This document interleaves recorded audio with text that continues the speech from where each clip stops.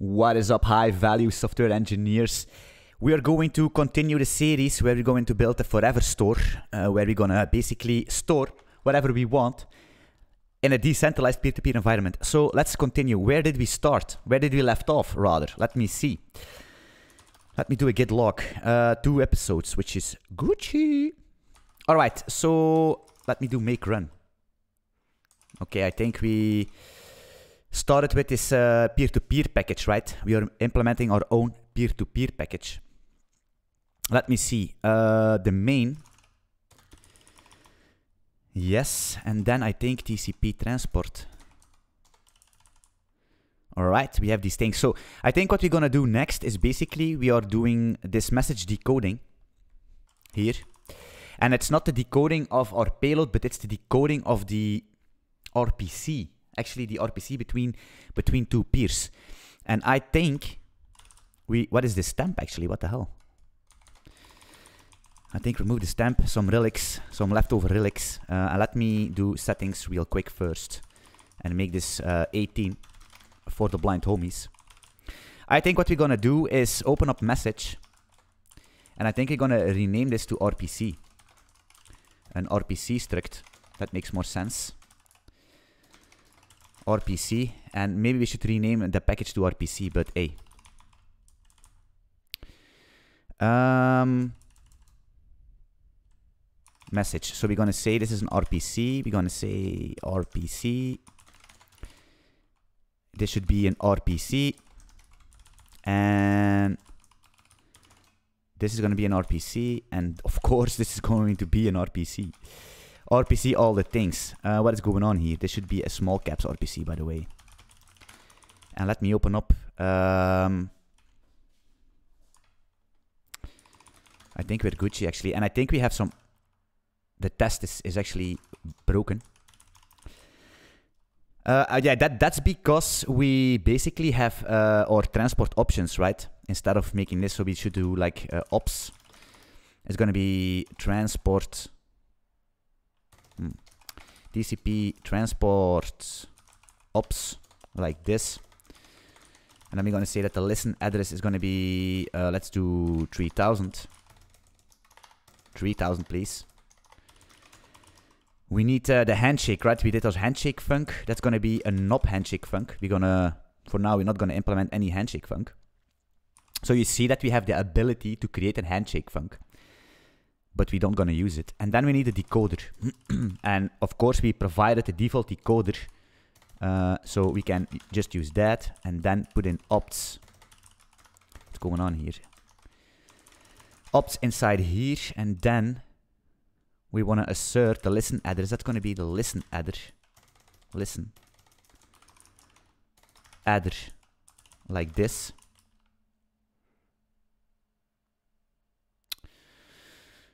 Uh, and that's going to be... We could do something like this, right, to test it.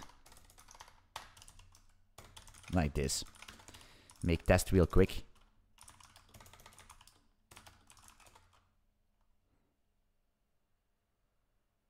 Undefined message encoding. Yeah, we need to change this. It's going to be um, an RPC. Do we actually want a pointer? Not quite sure.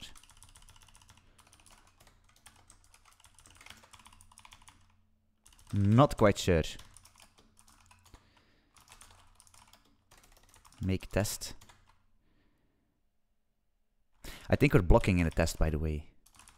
Yeah, the select statement. This should be good. Let's make test real quick. Uh, and everything is working fine. That's good. Then let's go to main. Uh, let's do a make run. That's working. Let's open up uh, Telnet.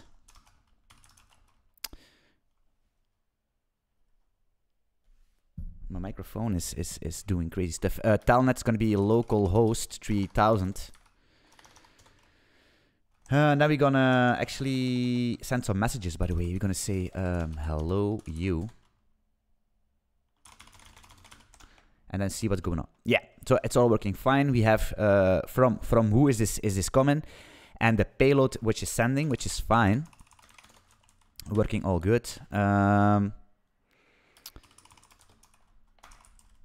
let's open up transport real quick.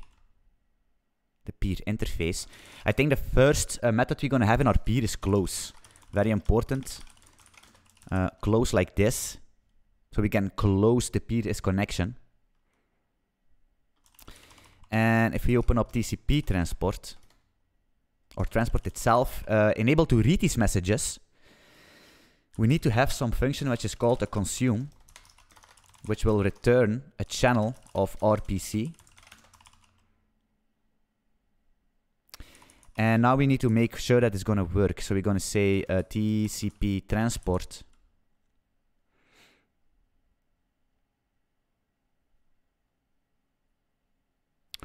Uh, and that's going to be, let me quickly think about this. We're going to say an RPC chan, which is going to be a chan of RPC. A chan of RPC. And then we're going to say here that the RPC channel is going to be make me a chan of RPC. Easy. Then we need to in, in, in uh, implement our uh, interface. We're going to say T, TCP transport We're going to say consume. And that's going to return a channel of RPC. And you see this, this syntax, right? This basically means if you watched the concurrency for beginners, this basically means we can only read from the channel and we cannot send to the channel, right? Very important. And we're just going to return the RPC channel like this.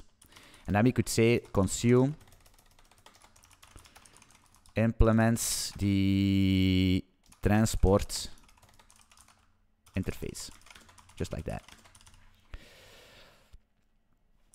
You could say uh, which will return a read only channel. Uh, for reading the incoming messages sent from received from another peer actually. Received from uh, another peer, another peer in the network.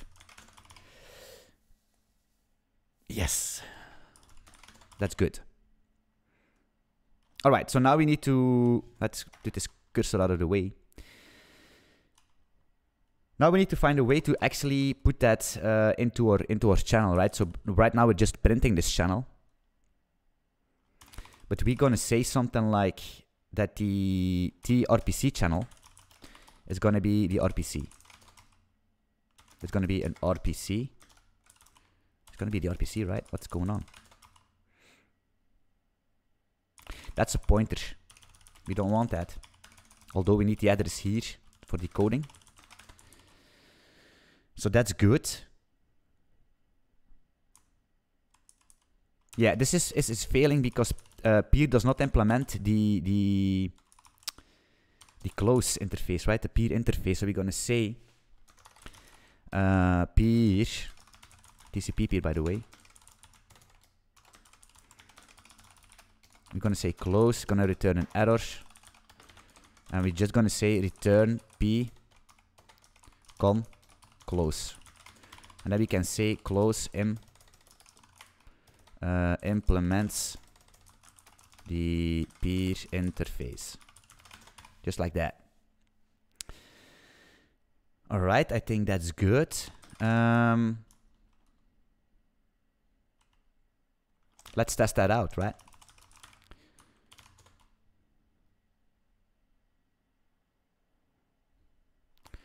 How are we gonna do this? We're gonna say uh, listen and accept. Maybe we're gonna boot up a new uh, Go routine here quick to test this real, uh, real fast we're gonna say for tr consume is gonna be the message. I think it's something like that.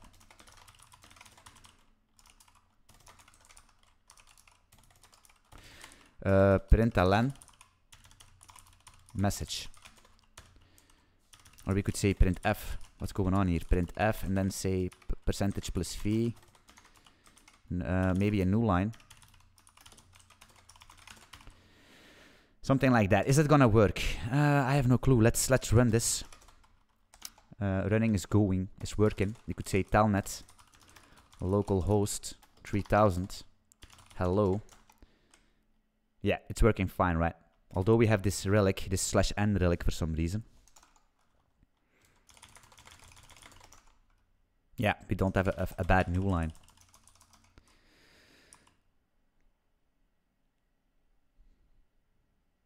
Uh, that's crazy. Why is this wrong? Oh yeah, of course. This is not a new, this is a new line. I see.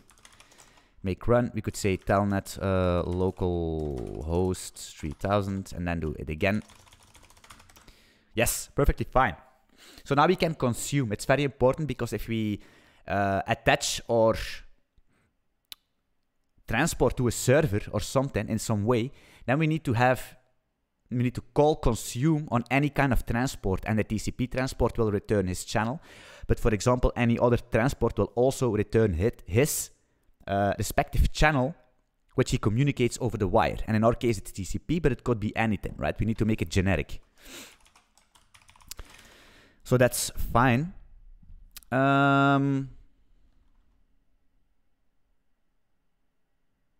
it's it's actually capturing output. What's going on here? Let's close that. MIOBS. I hope it's fine. All right, so we have that. The next thing we're gonna do is um, we need to find a way because let's open up real real quick TCP transport. I'm gonna show you. Yeah, so this peer map, I don't think we're gonna we're gonna keep it. We not need a peer map because I think the transport is not going to be responsible to keeping the peers because peer is an interface. So we could um, I think the server is responsible to maintaining a list of his peers, which could be a peer interface, which could be any peer, right? It could hold uh, peers that are connected with TCP. It could hold peers that are connected with a local transport. It could even hold peers connected with gRPC. It does not really matter. A peer is an interface, and our server could hold any kind of peer, any kind of connection with his respective, uh, respective transport. That is the beauty of this generic implementation. But we need to have a function, we need to have a way to notify the server that there is a new peer, that the server can do with the new peer whatever he wants. So I think to do that is to do something in TCP, and we could say something. We have decoder, we have handshake func. We could say that the peer func or on peer is going to be a function of a peer with an error, right? And then we could say that if this function returns an error, we are not, we're going to drop the peer. Um, how are we going to do this? Um, first of all, I think I'm going to do something like this. I'm going to say a defer func here. I'm going to call it. Or not. How does it work? It's like this, right? And then we're going to say, um, actually, do it here. And then maybe say var error, er, error.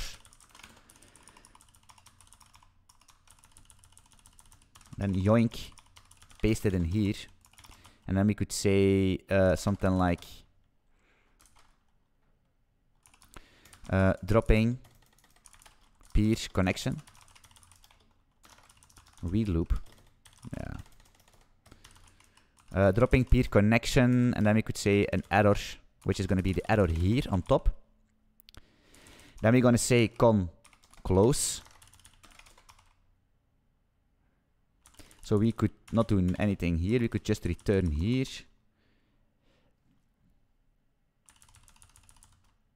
This can be good. And here we could say if error. First of all, we're going to say if t on peer, right?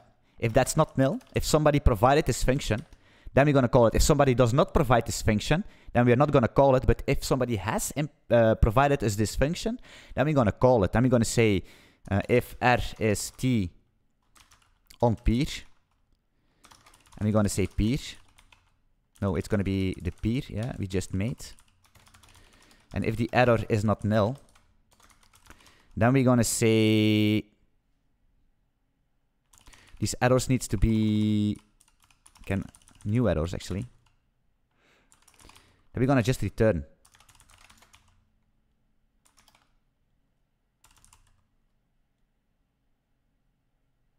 Yeah. Something like that.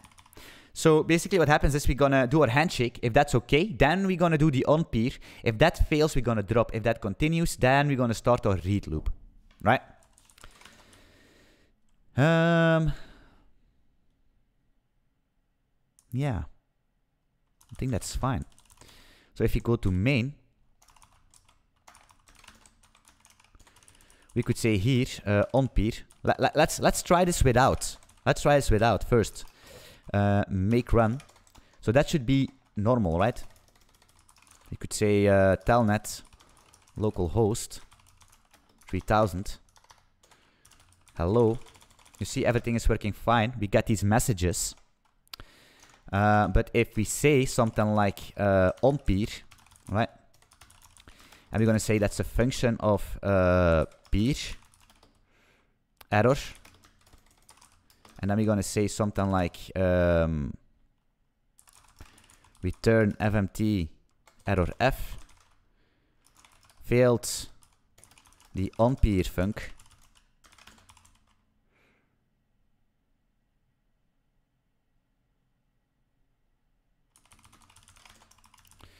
Uh, there should be a peer-to-peer -peer, peer, like this. And we run this again. Right? And then we connect then, localhost 3000, right? Wait, let me do this.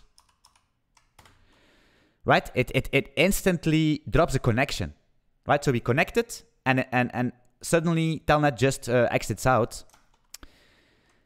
And that's because here, right, dropping peer connection failed the on peer func, which is nice because that means that our logic is working. And of course, uh, we could say here, right, we could say, um,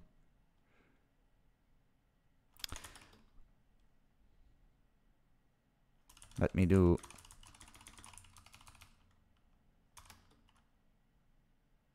We could say on peer or something. We don't need to specify it in the in, uh, directly into the transport options. What you could say on peer is going to be the on peer here. It's going to work perfectly fine as long as it has the correct signature, right? Um, that's fine. Now we return an error, but we could also just return nil, right? So it's gonna work. So we could return nil here, and then we could say fmt uh, println, and we could say uh, doing some logic with the peer outside of TCP transport. And let's boot telnet up, and then we could say hello we can send messages and then uh, we're going to say doing some logic with the peer without transport. So it's all working fine if we have a new peer. Uh, we are actually in a good spot. That's nice. All right, let's close it up. Yes, I think it's good. So, um, yeah, yeah, yeah, yeah, yeah, yeah. I think we're in a good spot. It's going to be a short episode, this one, because I think right now we have everything we need to have. Uh, or maybe wait, we can actually not. Uh, I want to test something. Because on peer, you could say this is the peer, right? And I want to test something. What happens if we do peer close? That's a good question. What happens if we do that? I'm gonna I'm gonna check it out. It's a very important thing because that's gonna basically um, drop the peer from from whatever. Yeah. So we see that's good that we have this error. Now we have this loop, right? Use of closed network connection, and it's in the read. Um,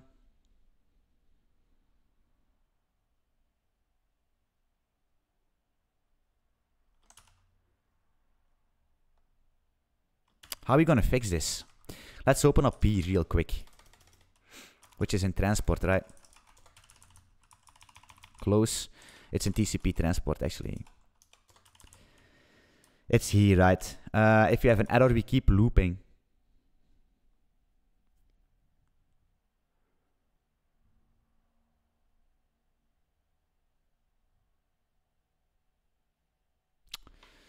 Uh, let me see.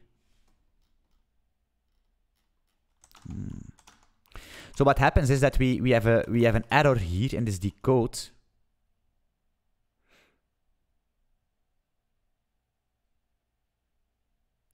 What are we gonna do? Are we gonna drop the connection? Or are we gonna check the error?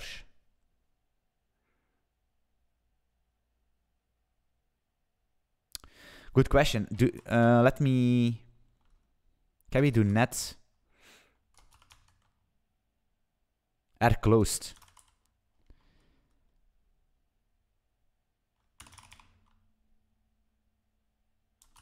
So I think we could do something like this because I think if, if, if somebody sends us a wrong payload, I don't think we need to punish it. I don't think we need to punish him and say, yo, you're out because you sent a, a wrong payload. But of course, uh, we could say something like this, right? R is going to be this. And then we could say uh, if R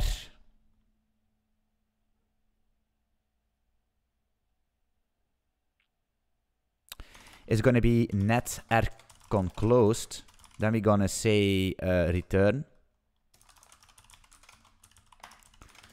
And we could do it like this. And otherwise, we're to say a TCP read error.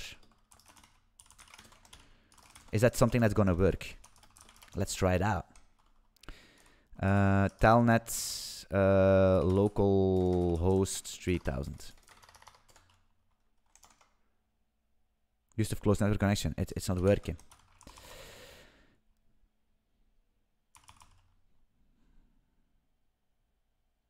Hmm.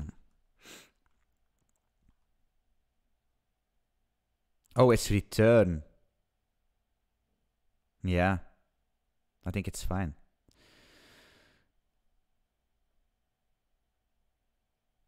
R, clonk, R, R closed. It, it is...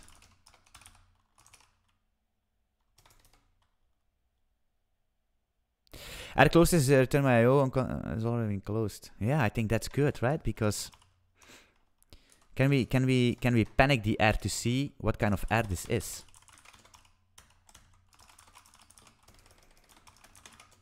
It's a very important thing we need to get uh, uh, working.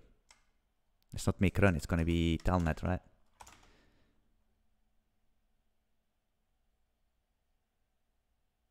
Yeah, you see, it's it's a use of, of, of close network connection.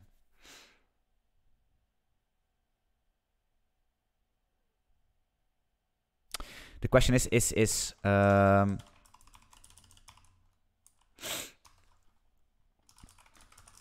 let us see. Reflect uh, type of R.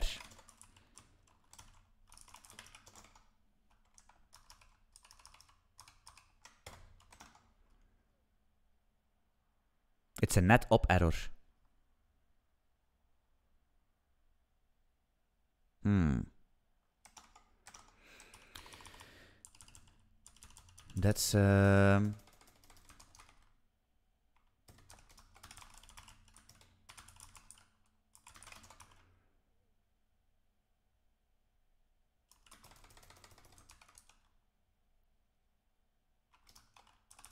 Can we not do this?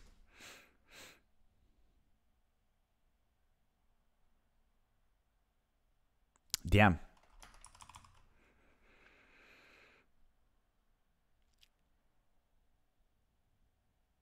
Okay, I think we need to investigate this. I think enable to make this... Um, let's return. Let's return for now. Let's see. Let's just return. Right. And now it works, right? Now we have dropping a peer uh, because we have a use of closed network connection. I think there should be a way so we can assert this specific error. So we only drop the peer if it's that error. Instead of just a normal error, actually. Uh, another error. For example, a decode error or something, right? But hey, uh, I think we need to figure it out uh, soon. I will check it out how we can do this. Maybe it's it's I don't know. We can we can see. We're gonna make it work. It's not a big big of a deal for now. All right, so I think we're in a good spot to actually start implementing our uh, storage and uh, server and, and connect the dots. I think, although we will come back to this peer-to-peer to make this library a little bit better, uh, to see what we are missing. And I think a good way to see what we are missing is to actually start implementing it so we can enhance this library. Um, because we're also, I, am trying, I'm planning to make uh, the world's smallest blockchain, and I think we're going to use the same library, right? That that's that would be nice, and of course only for Patreons. Thanks for watching, and I see you in I think which is going to be episode four. Thanks for supporting. Cheers.